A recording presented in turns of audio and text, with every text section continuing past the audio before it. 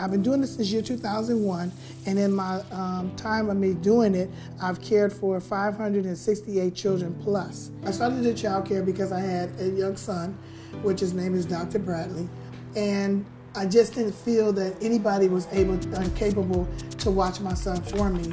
I moved out and I started my own business. I just started working my own child care facility, and from that point on, which is 2001, and I've been successful ever since.